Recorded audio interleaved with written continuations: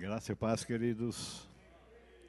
Noite maravilhosa, né? Que louvor de engrandecer exaltar o grande e glorioso Senhor, não é?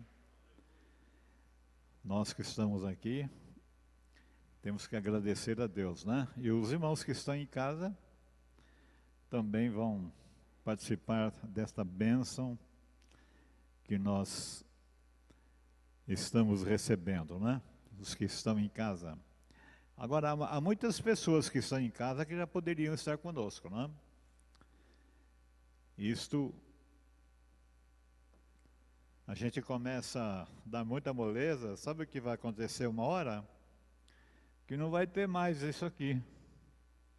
Aí só dá, ai, que maravilha que era, era. Mas você dá tão pouca atenção, né? Na escola dominical, a gente encontra os pessoal indo para a feira, pessoas ficam lavando carro em casa, fica fazendo outras coisas, fica, não é? Ou descansando. Mas vai chegar uma hora que não tem, você vai descansar para sempre, talvez na sua casa. E nós temos que dar graças a Deus que ainda, com todas as coisas que têm acontecido, Deus tem sido maravilhosíssimo conosco, não é? E não nos tem deixado faltar o pão de cada dia. Amém? Na quarta-feira passada eu falei sobre o príncipe rico, não é? Porém, avarento. E hoje eu gostaria de falar um pouco pelo menos nesses primeiros minutos, eu gostaria de falar sobre a segunda carta de Coríntios, capítulo 8.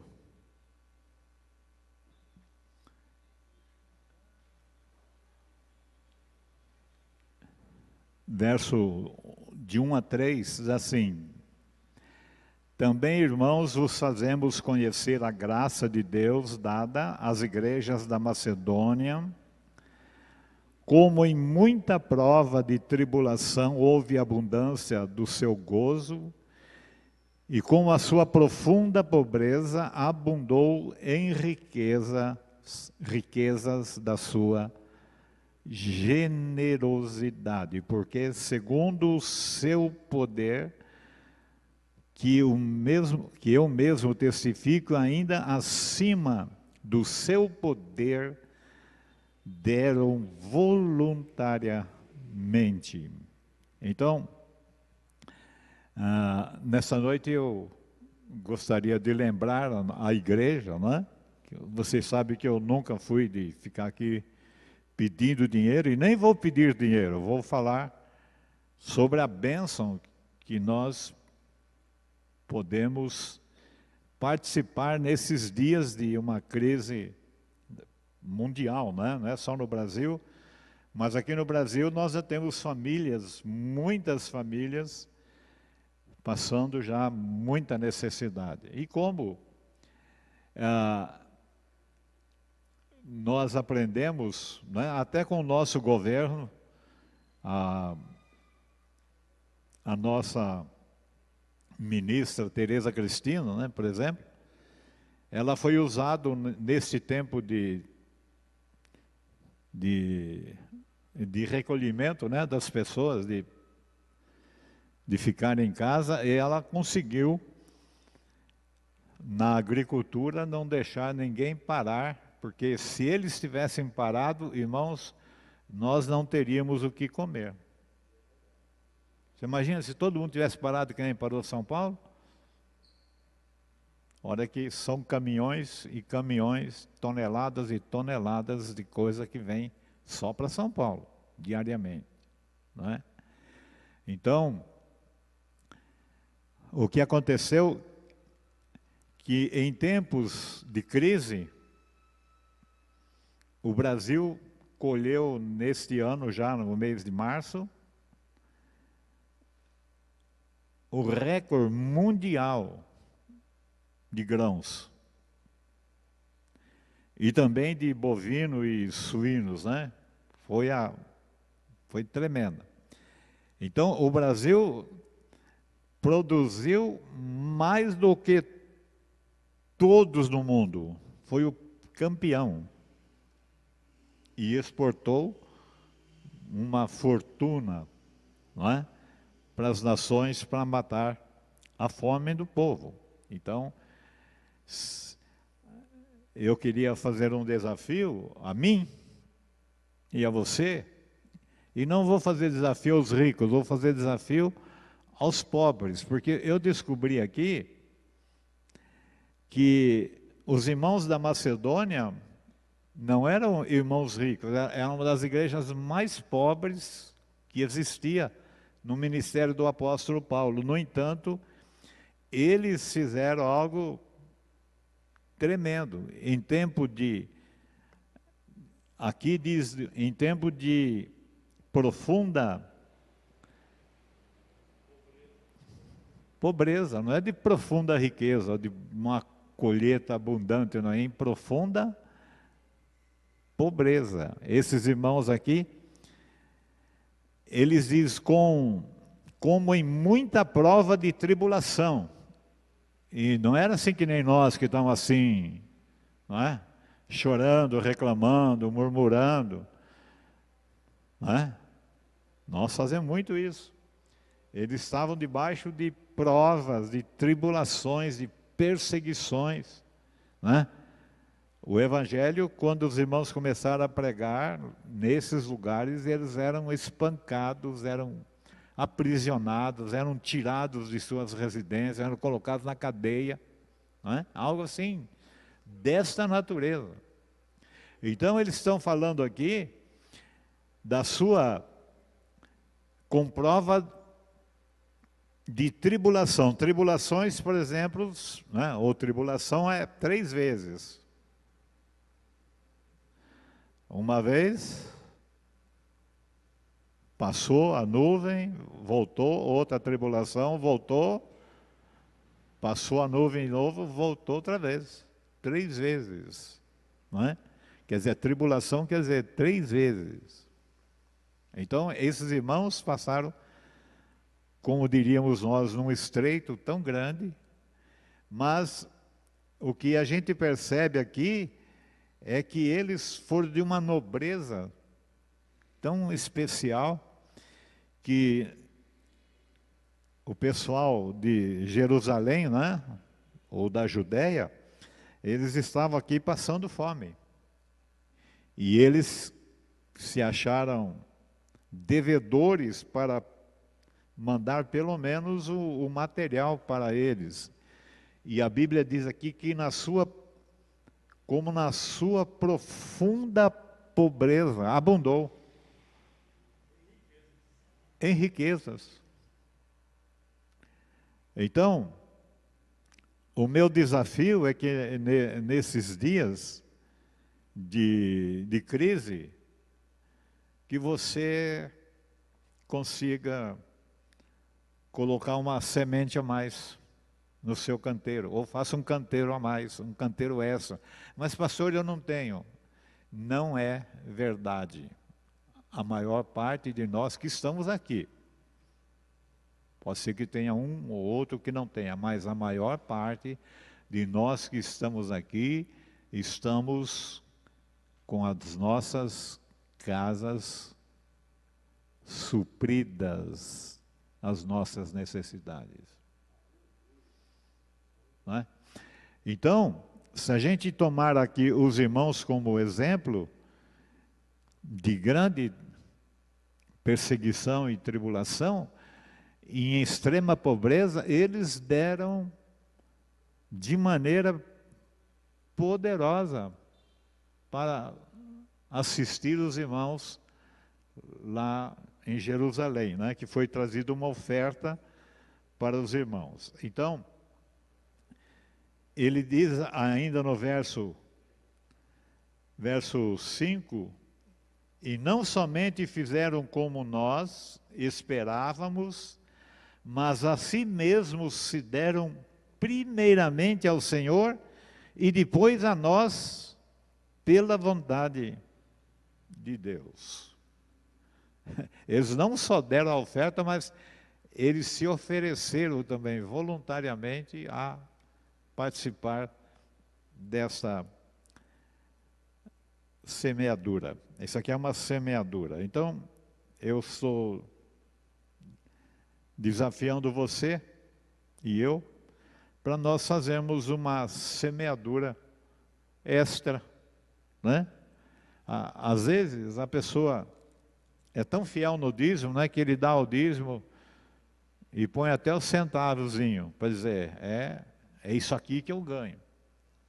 Mas irmãos, vamos estender um pouquinho mais a nossa mão. E vamos, ah, inclusive, melhorar as nossas esmolas. Eu não estou pedindo esmola para os irmãos, estou pedindo que os irmãos façam um plantio extra no tempo de crise, porque, irmãos, nós como igreja podemos socorrer muitas famílias. O Napoleão, ele está aqui, né? Ah, está lá atrás. Ele disse que ganhou é 75 ou 65? 63. Opa, 7 e 3, ó, beleza. 7 e 3 cestas, não gigantes, mas... Ah, então a gente vai chegar num, numa matemática, é 7 e meia ainda. e o que aconteceu com isso? Que eles tinham um dia para distribuir isso. Eles ganharam e tinham, não é isso, Napo? Tinham um dia para distribuir e apresentar um relatório. Rapidamente, não sei quem foi, os que.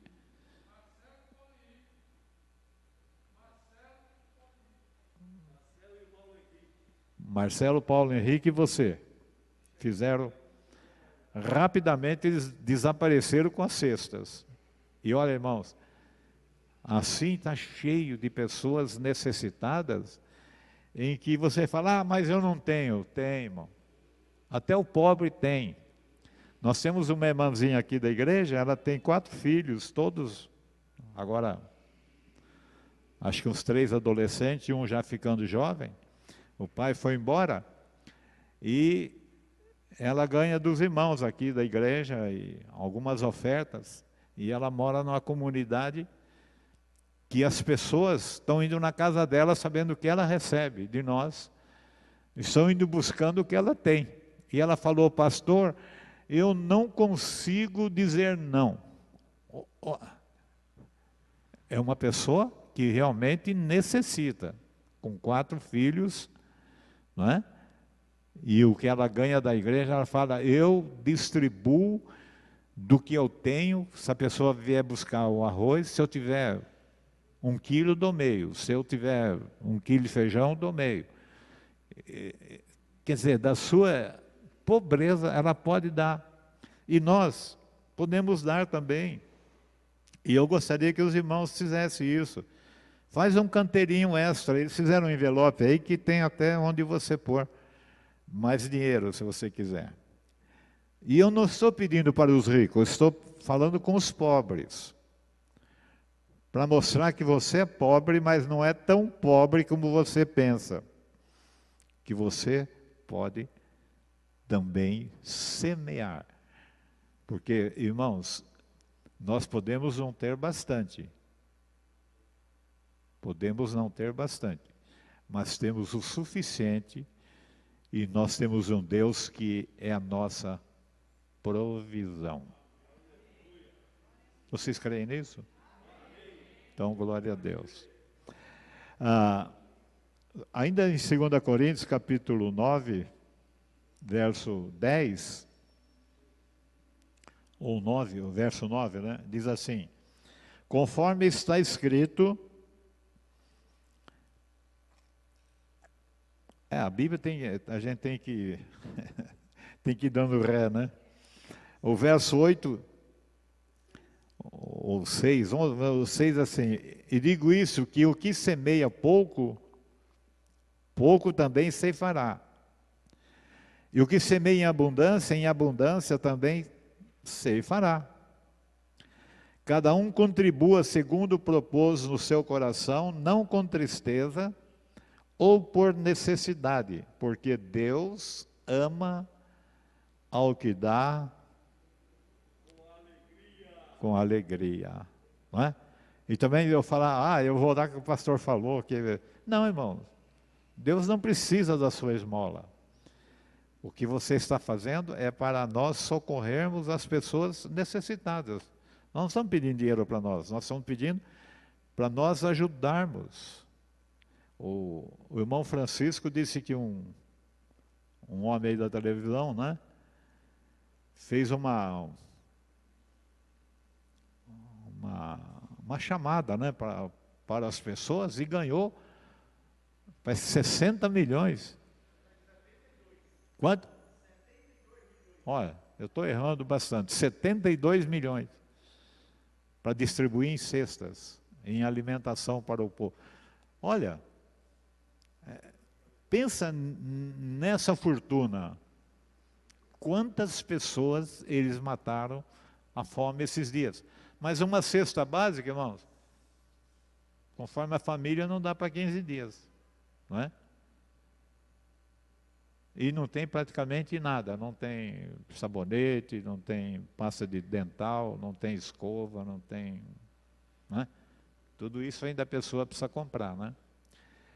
Então veja, mas é, o homem está lá fora, não é um pastor de igreja, não é um apóstolo, é um homem da televisão. Fez a propaganda, encheram ele de dinheiro, de dinheiro, 60 70 e 72 milhões. É muito dinheiro para comprar cesta básica, não é? eu não estou pedindo essa fortuna, eu estou pedindo aos irmãos, força um pouquinho a sua contribuição, não é? E você que nunca deu, aproveita, dá, dá uma vez.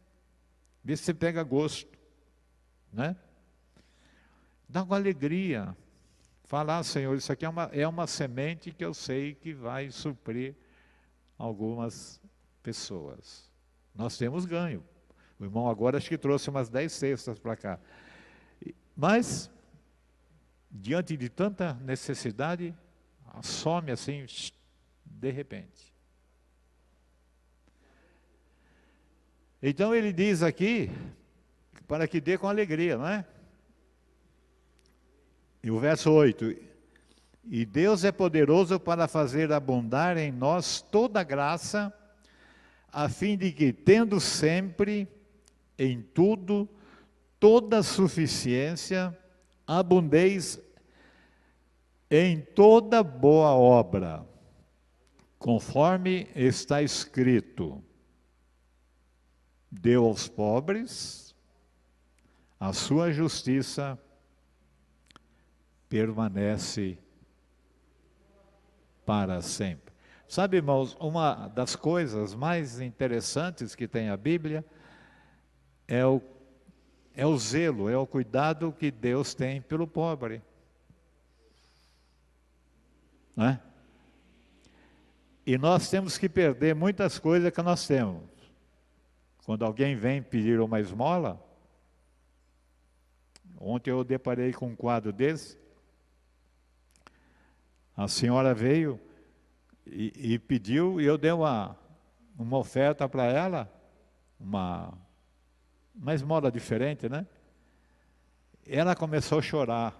Ela levantou a mão para o céu, falou: Você, eh, você não imagina o que, que o senhor fez tal. Aí quando ela foi embora, eu dobrei a oferta para ela. Aí ela saiu correndo, foi para o mercado, ela está em frente ao mercado lá da Dutra, né? O que, que ela foi comprar com o dinheirinho que eu dei? Nada, quase. Mas ela, ela saiu da rua pedindo, saiu correndo para ir comprar, para ir para casa. Ela falou, estou trabalhando ali embaixo, na, na terceira rua, mas ainda está começando a trabalhar, não está ganhando nada, né? Tá. E ela saiu chorando, eles falaram, ah, eles pensam que a gente está pedindo para gastar em droga, isso aqui tudo. Nós temos muito disso aqui. Ah, não dou para esse que é drogado, porque isso aqui é ladrão, porque isso aqui é vagabundo, porque isso é aquilo. Nós temos que perder isso. Eu propus no meu coração a dar e vou aumentar cada vez mais a minha sementeira. Aonde? Na rua. Vocês não imaginam quando a pessoa recebe 10 reais, ela quase desmaia de alegria. Está acostumado a receber aquele trocadinho, né? o mais miudinho. Esse pede 10 centavos. Tem 10 centavos, tem 20 centavos. É, é calamitoso, irmãos. É, é, triste. E a gente fala, ah, esse aí é, é vagabundo, esse aí é, é, drogado, esse aí é não sei o quê. Vamos parar com isso. Pode ser que você pega um que, pegue um que realmente seja drogado, não tem problema nenhum, dá para ele acabar de se matar. Está querendo morrer mais cedo? Dá o dinheiro para ele, dá mais dinheiro que ele, que ele compra mais droga. Mas na verdade, irmãos, eu pergunto: alguém, a começar de mim, alguém aqui, pegaria uma pessoa que está no farol pedindo esmola e levaria para trabalhar na sua fábrica, ou levaria para trabalhar na sua casa, levaria para comer na sua mesa? Hein? Eu sei que tem, tem gente aqui que faz isso, mas é contar os dedos aqui sobra dos dez sobra mais da metade. Então, gente, você fala, ah, mas eu não sou rico, eu, eu, quando ficar rico, eu vou dar uma oferta de, de explosão. Não vai, irmão. Se você não dá 10, você nunca vai dar 100. E se você não der 100, nunca você vai dar mais. Porque é, isso é do coração, é avareza. A avareza está no coração do homem. Então, eu vou dizer para você, eu imagino que dos que estão aqui hoje, não tem ninguém tão pobre que não possa dar pelo menos uma pequena oferta.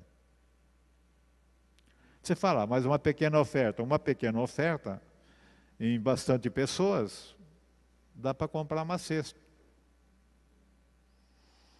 Não é assim? Agora, se todo mundo pensar que não tem, não tem. Sabe o que vai acontecer daqui a uns dias? Deus vai fazer que nós também não tenhamos, para nós experimentar o que é passar fome. Eu, por exemplo, vou fazer 83 anos, se Deus permitir, que eu chegue até o mês que vem. Eu nunca imaginei em passar fome. Na nossa casa, desde menino, morei no sítio, não tinha como dizia, 200 reais um tostão para comprar uma chupetinha daquela de doce, mas nunca faltou comida em nossa casa. Nunca. Tem, eu creio que tem pessoas aqui que já passaram fome. E olha, passar fome Passar fome parece uma coisa fácil, né? Mas a Bíblia diz na Lamentações lá de Jeremias que naquele cerco lá de Samaria, né, que foi que o profeta Eliseu profetizou que ia ter fartura, né? E o camarada lá achou que não. Mas a, naquele aperto, as mulheres piedosas estavam comendo seus filhos, assando ou cozinhando e comendo seus filhos.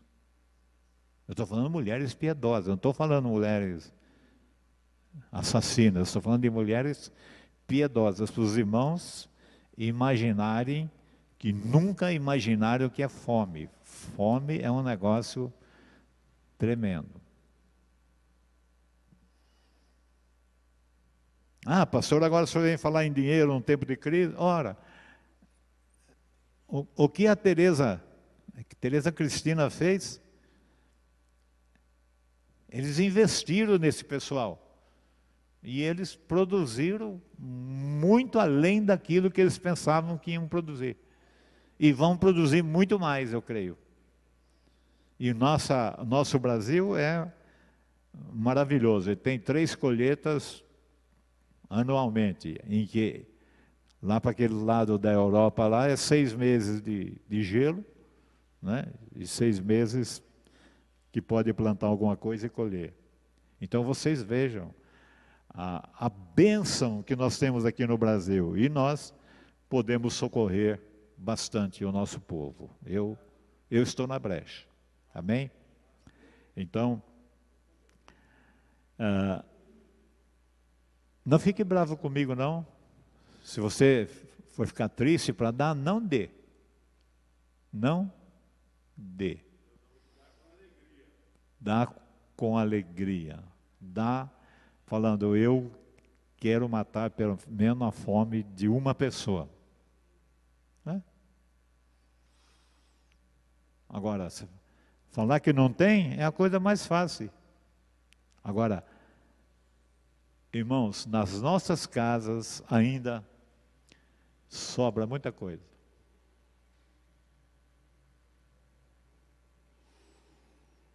E nesse tempo de,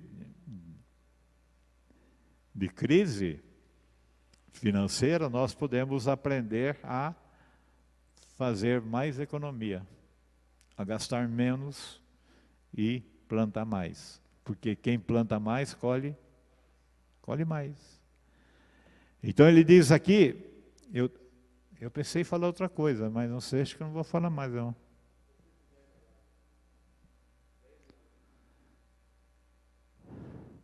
Ele diz assim,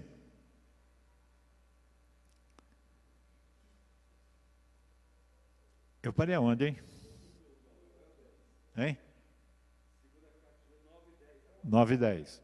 Ele diz: Ora, aquele que dá semente ao que semeia, e pão para comer, também multiplicará a vossa sementeira e aumentará os frutos da vossa justiça.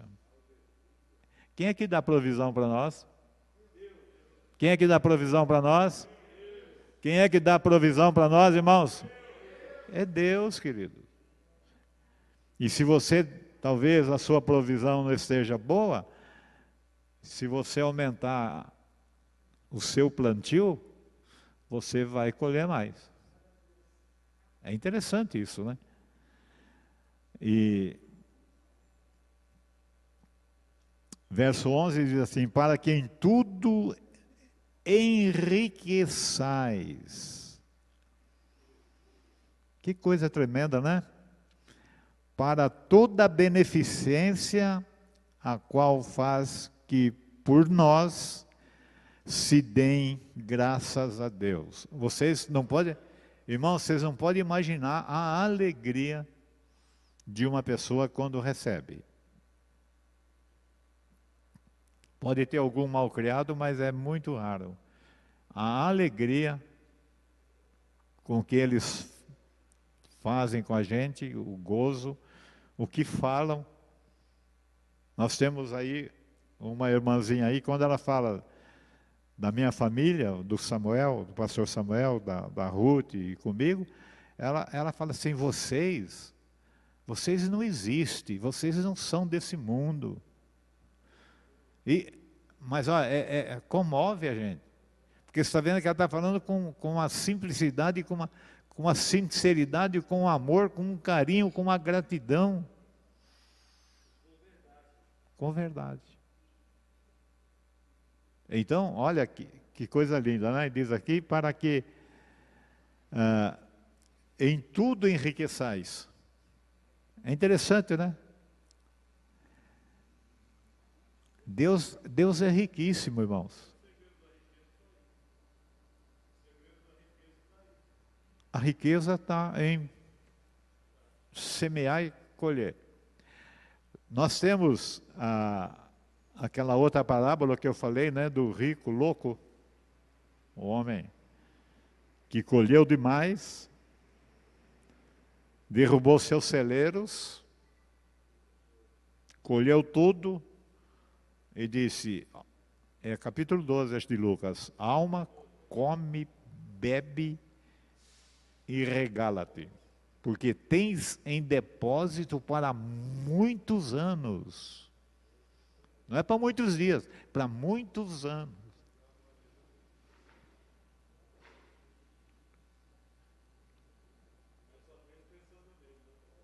Hum? Só pensando nele, porque aquela colheita, aqueles servos que ele tinha, ele poderia ter distribuído entre eles. Não é isso?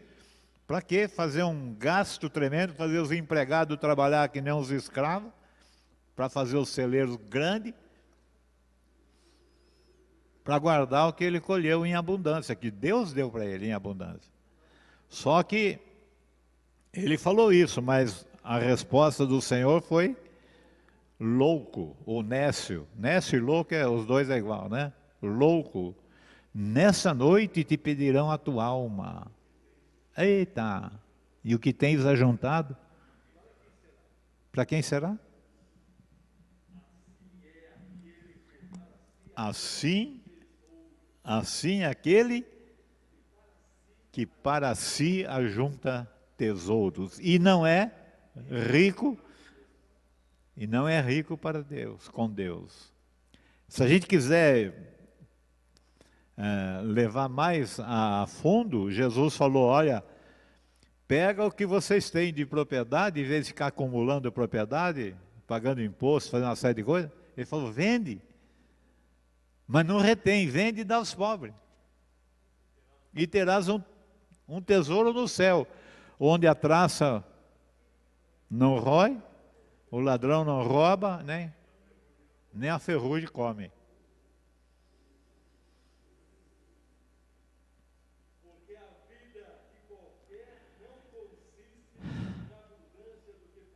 Olha, a vida de qualquer não não consiste na riqueza que você tem. E é interessante que lá em Timóteo, ah, para quem é rico, tem, tem uma palavra para, os ricos, né? é um conselho que Paulo dá para quem é rico. Aliás, a gente fala Paulo, mas não é, é o Espírito Santo né? usando a Paulo. Ah, o que eu falei?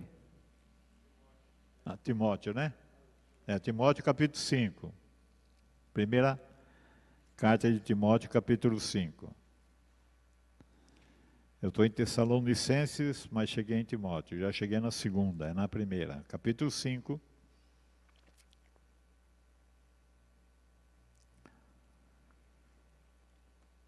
Aqui ele, ele diz aqui,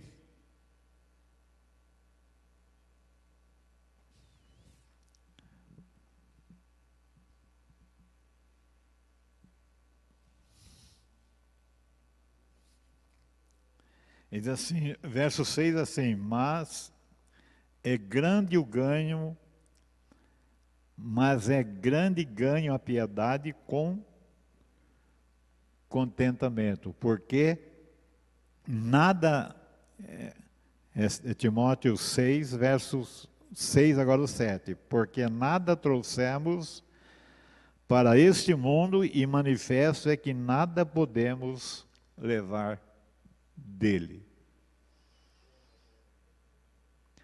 Quantas pessoas perdem, perdem família, né? Perdem tudo para ganhar dinheiro.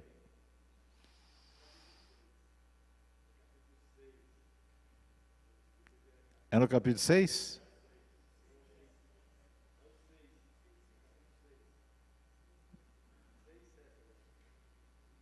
Eu não falei 6? Eu estou com seis aqui na, na cara que nem um. Desculpe, é capítulo 6 então. Capítulo 6. Obrigado. Obrigado a correção. Eu estou olhando seis falando cinco. Ah, é porque eu falei cinco lá atrás, né? Então, ele está tá dizendo aqui que, verso 6, mas é grande ganho a piedade com contentamento. Aí é, eu já vi muito disso. A pessoa pega o salário. Ah, Francisco. O empregado pega o salário e pega assim. Essa miséria aqui. E não, não dá graças a Deus. Fala, glória a Deus, né? Eu estou recebendo, glória a Deus, estou recebendo, estou empregado. Essa miséria aqui. Isso está lá dentro, irmão. Isso é, é a caixa, a caixa está cheia de lixo, está cheia de ódio, está cheia de inveja. Tem uma série de coisas que está ser limpado, pelo menos entre nós os crentes. Porque nada trouxemos para este mundo, verso 7, e manifesto é que nada podemos levar dele. Então nós já vimos tantas pessoas ricas aqui no Brasil morrerem pessoas famosas, vai muita gente no enterro, né? agora não está podendo ir muita gente mais, né? mas ia muita gente, muitos carros, mas nunca vi um carro forte levando a fortuna do camarada para enterrar com ele. Aliás, os coveiros ficariam muito felizes, né?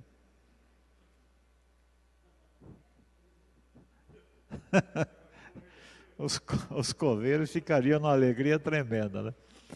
Mas ah, é interessante que a gente, por mais que acumule, por mais que ajunte, a gente veio nu e volta nu. Esse trapinhos que eles põem na gente quando a gente morre, pode ser um terninho novo, um sapato novo, mas três, quatro dias está tudo, tá tudo comido de bicho.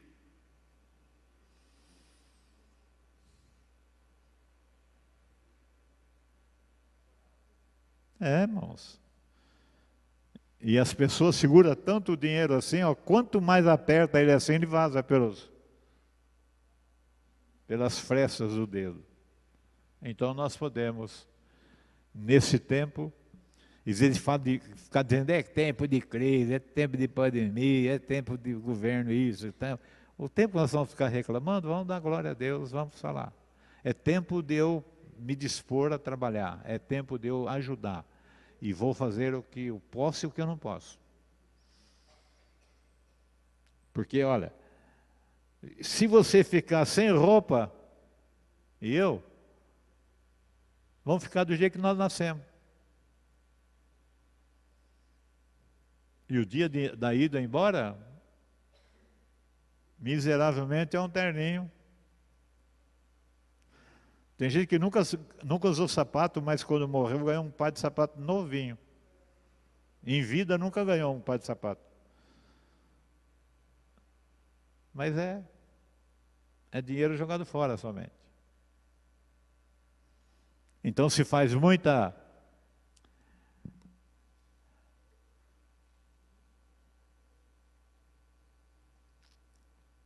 muita conversa na hora do do enterro.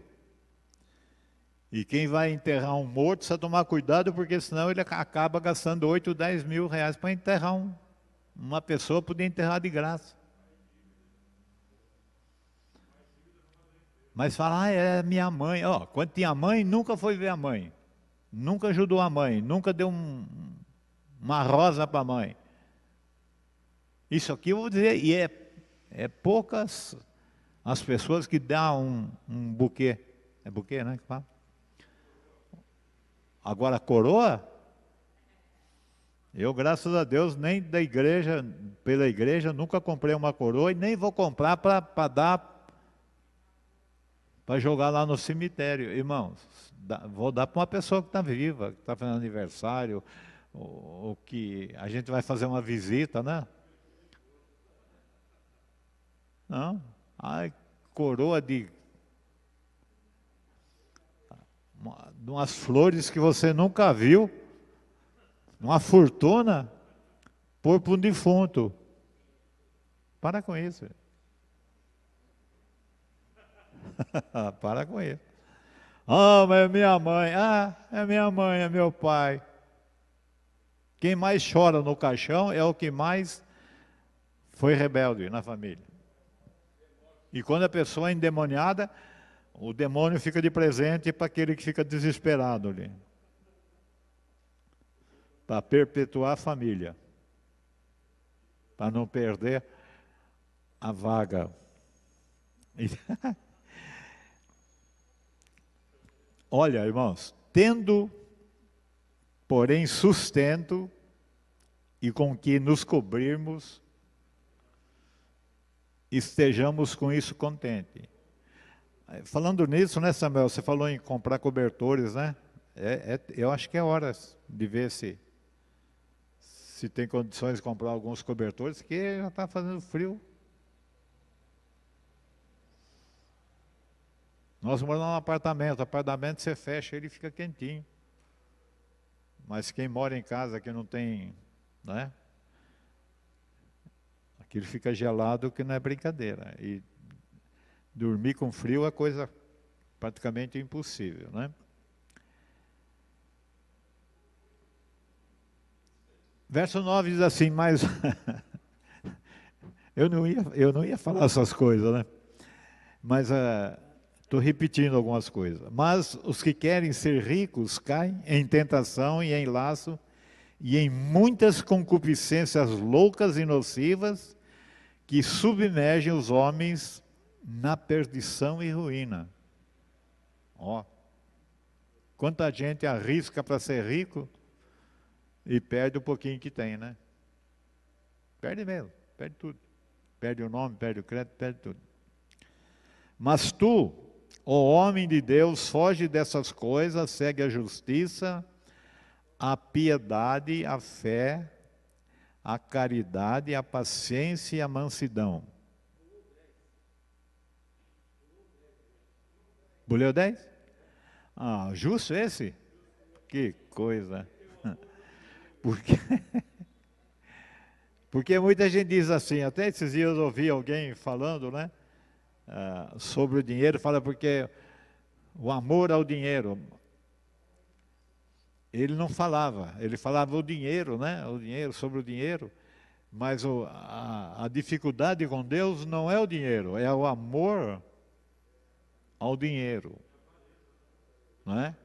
Então, o que ele fala aqui, porque o amor do dinheiro é a raiz de toda espécie de males, e nessa cobiça alguns se desviaram da fé e se traspassaram a si mesmos com muitas dores, muitas tribulações, sem necessidade.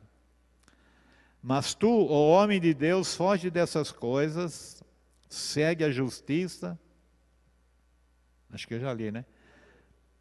a piedade, a fé, a caridade, a paciência, a mansidão, milita boa milícia da fé,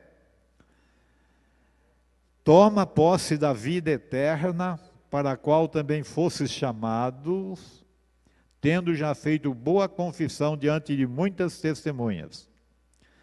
Mando-te diante de Deus que todas as coisas vivifica, olha, tudo que está morto ele pode dar vida e de Cristo Jesus, que diante de Pôncio Pilatos deu o testemunho de boa confissão. Que guardes este mandamento sem mácula e repreensão, até a aparição de nosso Senhor Jesus Cristo, a qual ao seu tempo mostrará o bem-aventurado e o único poderoso Senhor, Rei dos reis de mar e Senhor dos senhores Oh, glória! Não é? Maravilha! Aquele, aquele que tem ele só a imortalidade habita na luz inacessível, é impenetrável. A luz impenetrável, ninguém pode entrar lá. A quem nenhum dos homens viu, nem pode ver, ao qual seja honra e poder sempre eterno, ou sempre eterno, amém. Né? Manda, ei, ricaiada, agora é com vocês. Manda os ricos deste mundo que não sejam altivos, nem ponham a esperança na incerteza das riquezas, mas em Deus que abundantemente nos dá todas as coisas para delas gozarmos. Há muita gente que estava muito rica e perderam tudo, só nesse tranco aí de dois anos, hein? Perderam tudo. Está enterrado até o pescoço. Então, ele fala a incerteza das riquezas.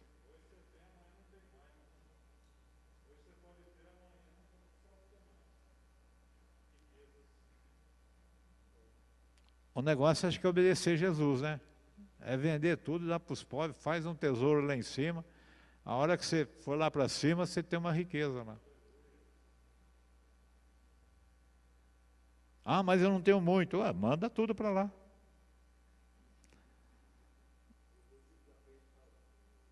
Então ele manda aos ricos deste mundo que não sejam altivos, orgulhosos. Oh, é meu. Eu trabalho, eu levanto cedo, eu faço isso, eu faço aquilo, né? Geralmente é assim. Eu tenho porque eu sou. Não, você tem porque Deus te deu, graciosamente. E Deus gostaria que você usasse uma boa parte desse dinheiro para os pobres. Ele deu isso para você dividir com os pobres.